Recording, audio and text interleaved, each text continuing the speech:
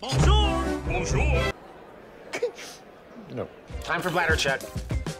Check. So it's a show? It's a lifestyle. It's a religion. My emotions! My emotions! I'm still French.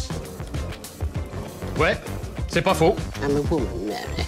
I can be as contrary as I choose. Non, moi je crois qu'il faut que vous arrêtiez d'essayer de dire des trucs. Hello, hi, I'm Laura.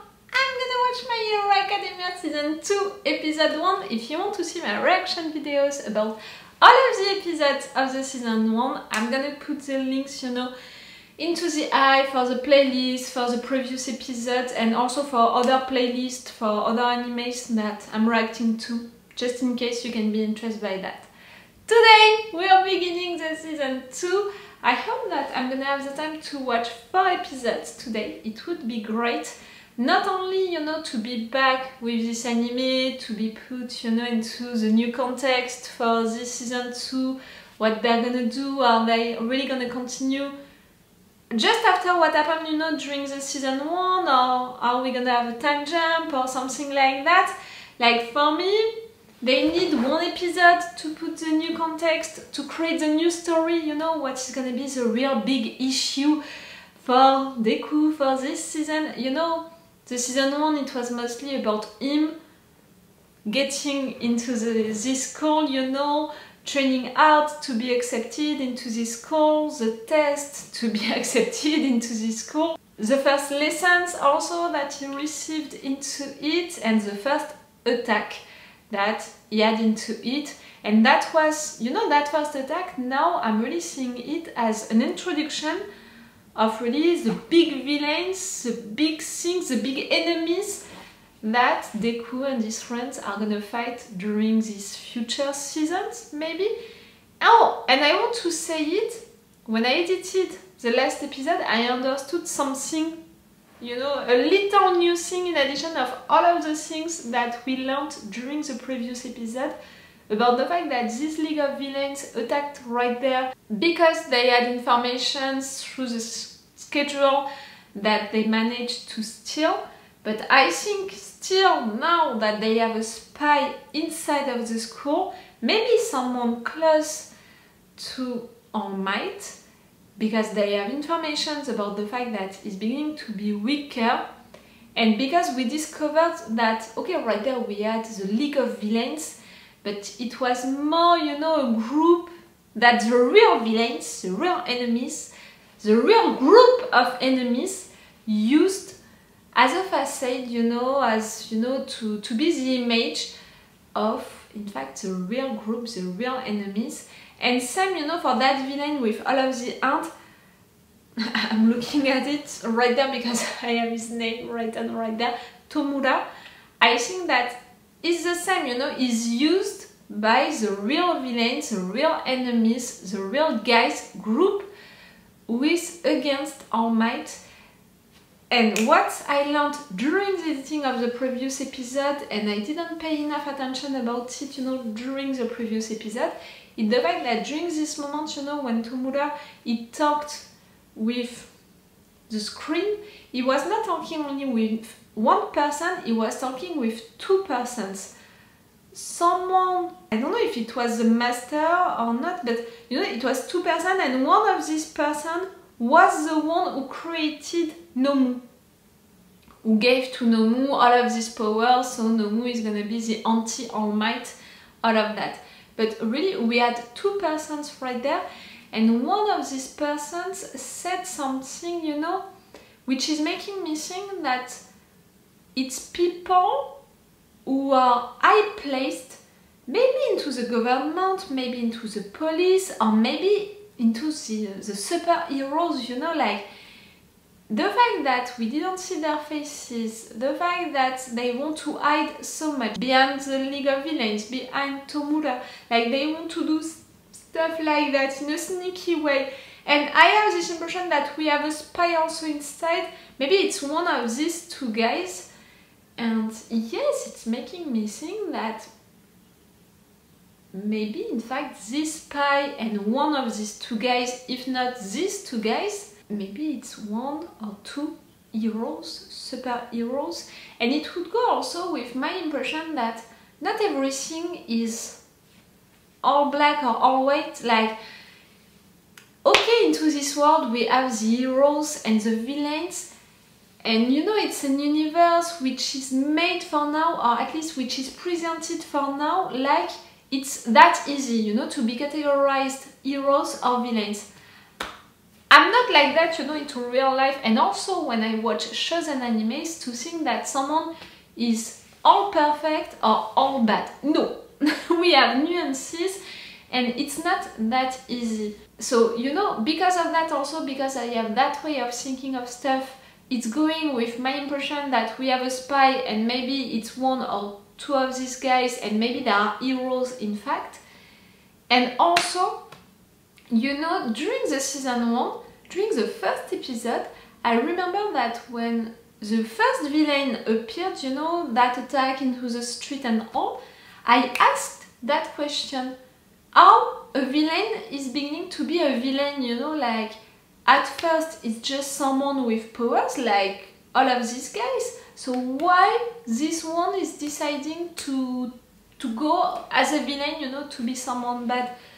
Okay, some of them can have reasons like they don't have money so they need to steal or really they want to be malicious, you know, something like that. You know, it can be financial reasons, it can be, I was gonna say mood reasons, like just they want to do bad stuff. But can it be possible also that we have also other stuff going on right there? You know, I had that thought also, remembering that the government is categorizing all of them, you know, when they are kids according to their powers.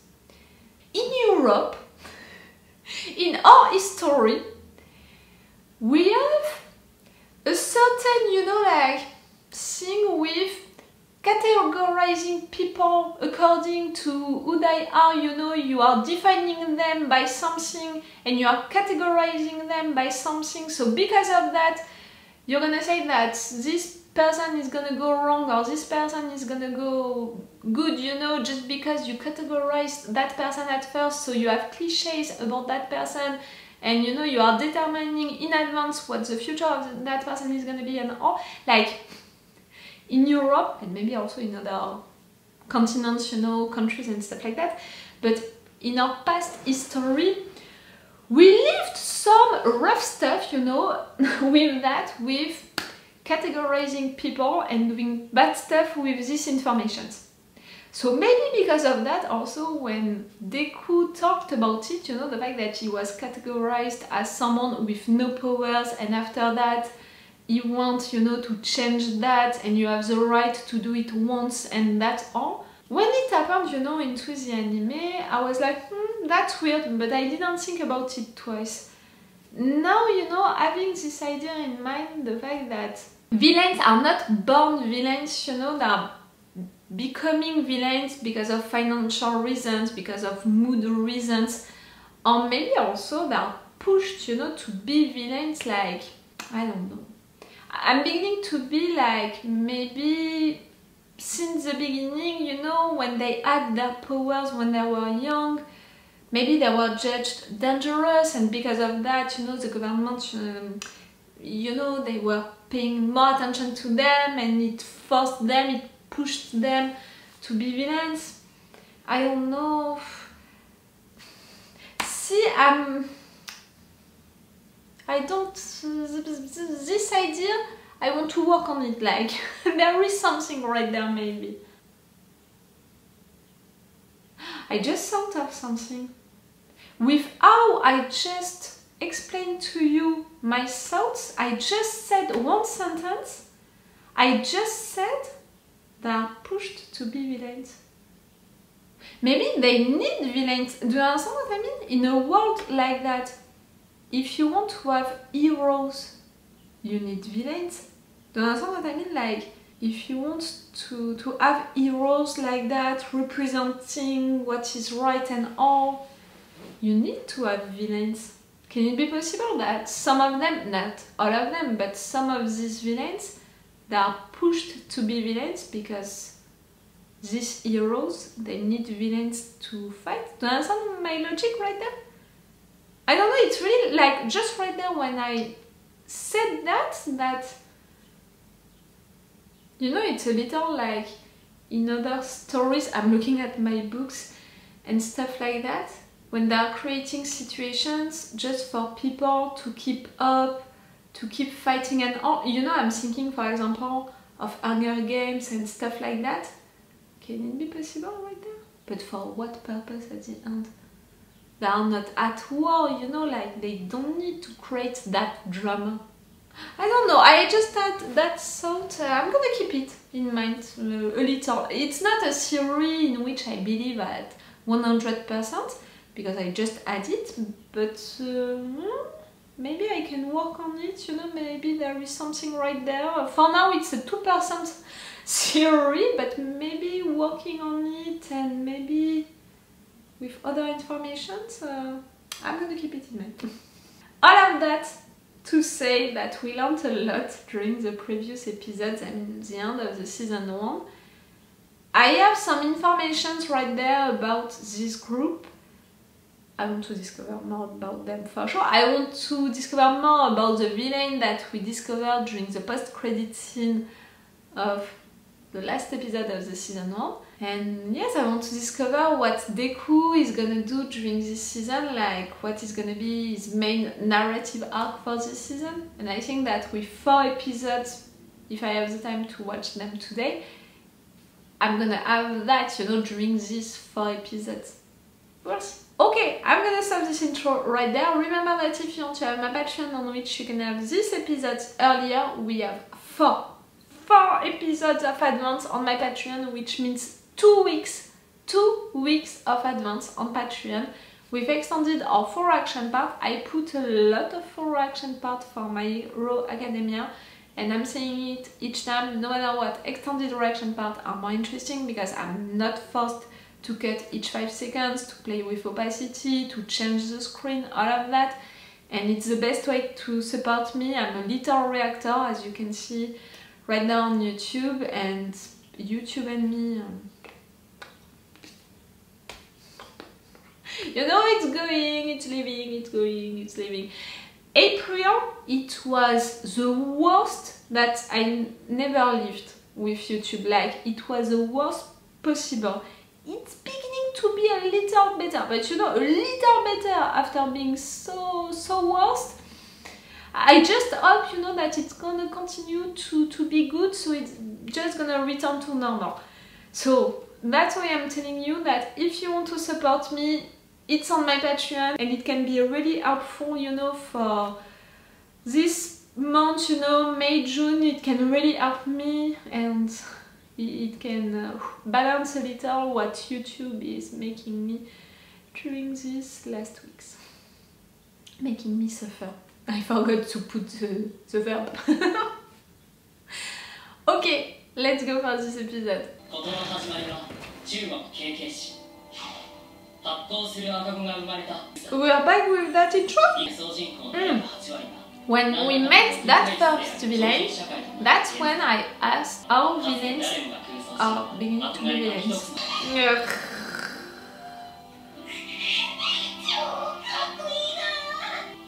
I love you, Deku! So,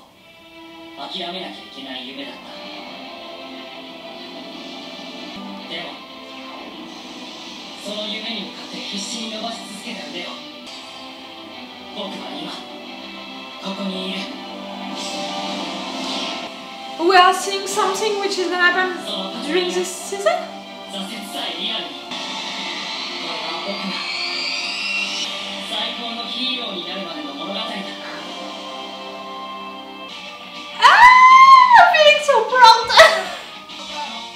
Can I watch this intro without having any spoiler? Now I know you guys. 先生におかれましては、お元気でお過ごしのことと存じます。先生雄英高校の教師に着任し、後進たちの指導に当たることとなりました。It's your mate? Your voice is a little different. ある少年と出会いました。私を含め。プロヒーローたちが躊躇している現場に赴き You write this letter to a sensei who knows that you can transfer your power? The one who gave you this power? 改めて教えられた気がしました。ヒーローが何をもってヒーローをたらしめているのか。To protect people who are weak. 君はヒーローになれると。一人が力を培いその力を一人へ渡しまた培い Your sensei knows about it. ワン・フォー・オールを譲渡したことに微塵の後悔もありません。この先先生にご迷惑をおかけすることがあるやもしれません。季節の変わり目です Toshinori Yagi? That's your real name? We never learned his real name. Toshinori. Oh, it's the first time that we have his real name.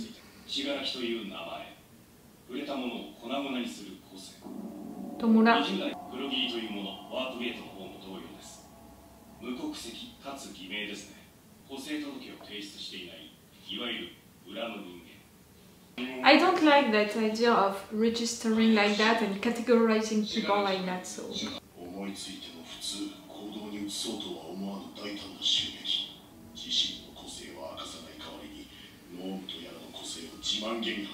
うん。それにしたって、対ヒーロー戦で個性不明というアドバンテージを放棄するのは愚かだね。もっともらしい稚拙なボール、思い通りになると思ってる単純思考。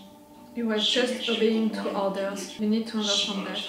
幼稚的万能感の抜けきらない子供大人だ小学児の一斉個性カウンセリング受けてないのかしらその USJ で検挙したヴィランの数72名どれも路地裏に潜んでいるような子も問題はそういう人間がその子供大人に賛同しついてきたということ I said it, it's a little weird also for all of these people to decide all together to obey your returns.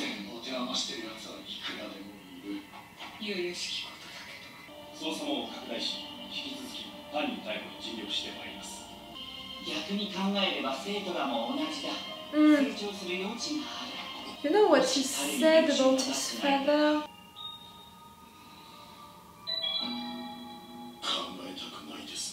I don't think that one of these guys, you know, that without the voice of, is one of his, is a father, but...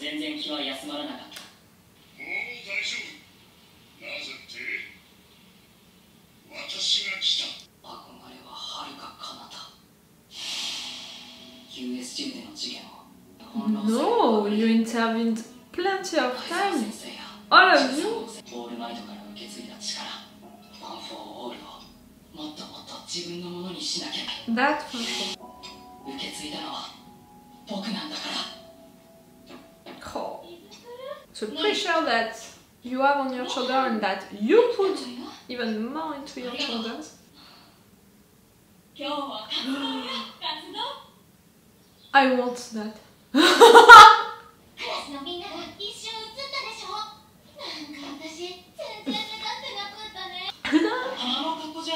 ーを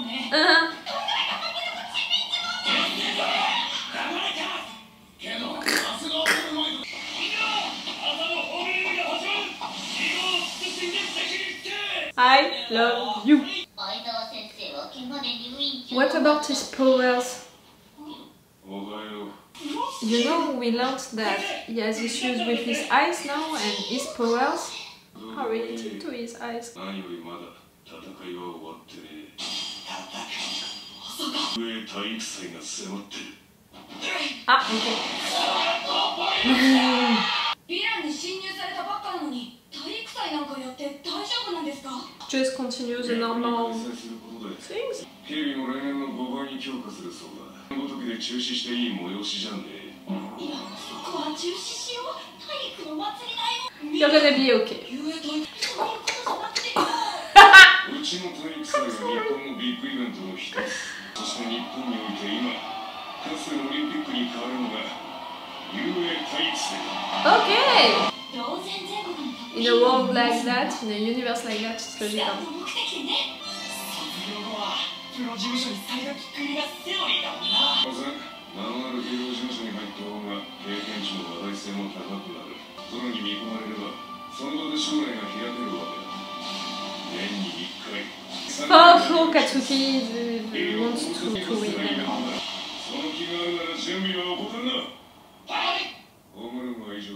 Come on, Deku. I'm sure you can do it also. I like him! Okay, he's screaming a lot, but I like him. Hmm.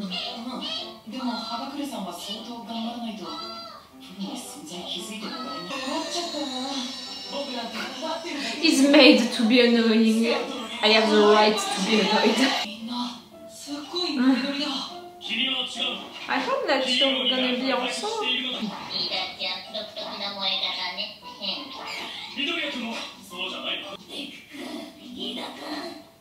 What? What is happening to you?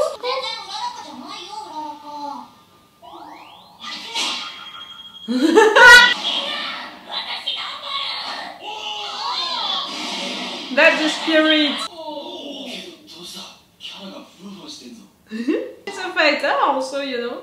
She's not just that sweet girl.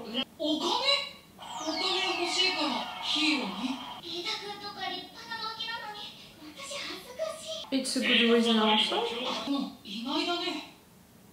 Maybe you don't know enough about her. Mm. 許可取ればコストがかかんないねでしょだって私父に言ったんだよ Yeah! You want to 大きくなったら父ちゃんと母ちゃんのお手伝いする。気持ちは嬉しいけどな。親としてはお茶子が夢叶えてくれる方が何倍も嬉しいわ。私は絶対ヒーローになってお金稼いで。To help your family. 父ちゃんか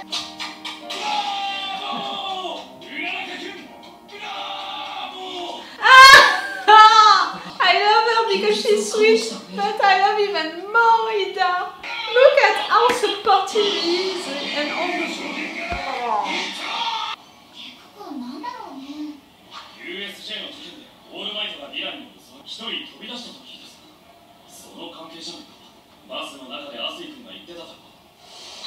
You remember?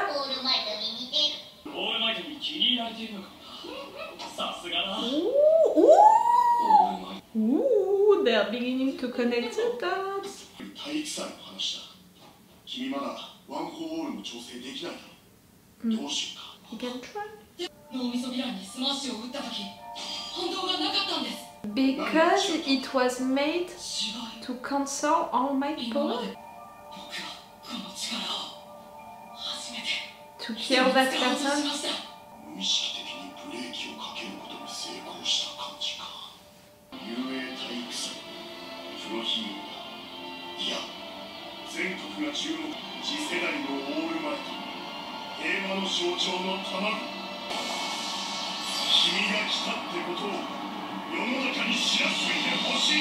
You want him to win? Cool. I was right. This first episode presented us the main narrative arc of the season. Again, I prefer the ending credit song it's a lot about the girls. A lot about Ochako. Is it gonna be the same for all episodes or just this one because this one was named after her? No! No preview! Okay. Was waiting to see if we had a post-credit scene. Maybe about that villain that we saw during the post-credit scene of the last episode of the season 1. Okay, so yes, I was right. This episode 1 was there to put the context for this season 2 and the main narrative arc for Deku. It's gonna be about this sports festival and the fact that All Might wants to help Deku to win it, to present himself to the world at least during it. That's gonna be something, and really I mean it because first we're gonna have a lot of time to train for Deku to be good enough and all. We can see that other students are beginning to wonder about what is happening. Like at the end of the last season, Deku said the truth to Katsuki, but Katsuki didn't believe him. But we saw that after the attack, Katsuki was looking, you know, at the nursery, like where Deku was, and you know, like he was wondering about what was happening, so maybe he guessed what really happened. Tsuyu even before the attack and all, she already guessed what was happening, at least she was wondering about it. Iida remembers it right there. He talked about it with Ochako. So really the students are beginning to connect the dots. We know that the villains talked also about Deku, about what happened during the attack. You know, I'm saying all of that like, okay, Deku right there is gonna train to, to fight, to win, maybe during also the sports festival. But before that, he's gonna train in front of everyone.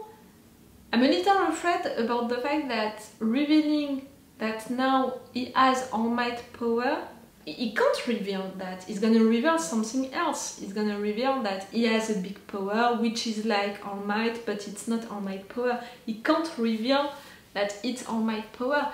But you know, with what the the students, the villains, like all of them, they were already thinking about, maybe they're gonna connect the dots and they're gonna understand that.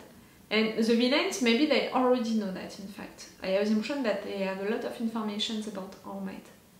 Right there, All Might, he wrote that letter to his sensei, his teacher, former teacher, who knows about his condition.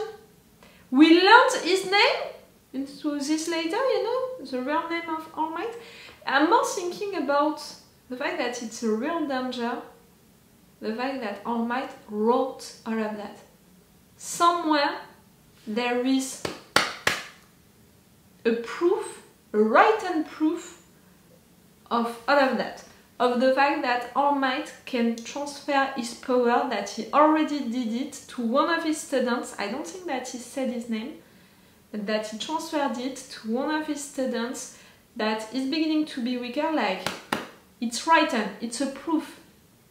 If that proof, you know, is falling into the wrong hands, I don't think that his sensei, I mean, can betray him because I imagine that for All Might to trust that much someone, one of his former teacher, you know, I'm almost wondering maybe this guy, this former teacher, gave him All Might's power. You know that I want to know how it happened for All Might, who gave him this power, how it happened, the fact that he has this appearance, you know, when he's normal, it's making me wonder about a lot of things. So maybe it was this teacher, this former teacher.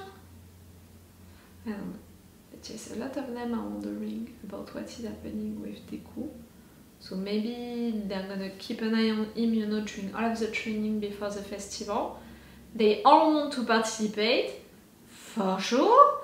Ochako, that was a surprise, you know, to see her reacting like that, but at the same time I love that because during all of the season 1 she was really presented as a sweet girl, always nice, always sweet, who saved Deku, you know, sometimes, but each time still she was a little weak or she was hesitating, she had doubts, she was not really confident and all. So right there to see her like that, like someone wants to do stuff and all, it was really cool because I don't want her to be presented, you know, as a naive and just sweet girl. So it's cool, you know, if the writers they are giving her something more. To have that flashback with her as a kid that was so sweet and that's a good reason also to the fact that she wants to be a superhero to help her parents to have money. And even just you know she wants to be a superhero for having money like maybe you just had a bad life like you were not rich and you you want to have money so you're not gonna be worried about it for the rest of your life. Yes maybe. Maybe uh, just that you know it's something that everyone can understand. And she said something like for Deku and Iida it's more honorable their reasons to fight I mean to, to want to be an hero. Iida it's because of the fact that he wants to do like his family like his brother. Is it really honorable? Like it's a good reason for sure. And you know it's because he wants to make his family proud and he admires his brother that much and all, but someone else could say that it's also because maybe he was a little jealous of his brother and he just want to be like him or better than him. Do you understand what I mean? Like, there is no honorable reason and bad reason. It's just your reason, and as long as you can justify it, you know, and it's making sense for you, and it's not something illegal, and it's not something really bad, it's your reason. Like, uh, no, no, it didn't shock me at all. And for sure, with this flashback, we, we saw that she was just a sweet girl who wanted to help his dad. And his daddy wants you to have your dream, but her dream is to help you, to help her dad. Yes, I'm taking that little voice because it was sweet. She was so sweet as a kid. Like Deku was so sweet as a kid. Oh, I want to see Iida as a kid. Ah. I want to see if he already had that personality or not. For this attack, they're asking questions about it. I mean, you know, all of the adults right there, we saw them talking about it. You're asking questions about it, but not enough in my opinion. Oh, and I didn't like what All Might said. Like, something that is said at some point, it implied that you have, I mean, that people can have villains reasons to act like just like that like i said it in intro i'm not functioning like that in life and i think that this universe this world doesn't have that rule about the fact that you are born a hero or you are born a villain. No none of them is born as a villain they are born with powers and what is interesting is to understand how can they become villains at some point. Maybe because of financial reasons, maybe because of mood reasons, you know, because they have a lot of anger and they want to destroy things and all. But uh, you know, all of their reasons to be angry that much, they're gonna be different. And they can be based on financial situations and bad situations at their homes and stuff like that. But I said it during the intro, I'm beginning to wonder about that thing, you know, about registering the powers and maybe the government classifying some people as dangerous and in a way they are pushing these people to become villains. So right there, the fact that they said that Tomura and the other one they are not registered like that. You know, they said that it was something bad. I said it, I'm not okay with being registered like that, so... Again, in Europe history, to register people like that and to use these informations after that to do bad stuff, uh, because of these informations with which you registered people, in fact, you are categorizing people and in fact, you, you have cliches about some of them, some of these categories, and because of that you are treating them differently and other stuff like that. Like, maybe it's not what they are doing, but because of Europe history, and just because also I'm wondering about what is happening right there, I'm beginning to think that it's an important information. I can imagine that uh, the worst case scenario with that, it would be to do something like that, you know, and it can become one of my series. I'm not saying that I believe into it at 100%, but I have it in mind. I want to keep it in mind. All Might, he has only one hour now. For me, it's not even enough for a class lesson. Aizawa is back, that's great, but I want to have information about his powers. Can he use his powers again? I don't think so. I think that maybe we can have something like you can't use them now or not that much or something changed. We'll see. Okay, I'm gonna watch three more episodes today if I have the time, that's gonna be great. For you it's gonna be in another video or if you are watching this on YouTube and you are subscribing right now to my Patreon, you can already have the three videos, you know, the three next videos, the three next episodes. Like it's really like that, you know, Patreon, they have four episodes of advance. It's like that, so if you want, on my Patreon, you can jump on it and you can binge watch like that all of these reaction videos. It's all for you for this video and it's all for me for now, so bye for now. Bye. Wait a minute. Wait a minute, Doc. Uh, are you telling me you built a time machine?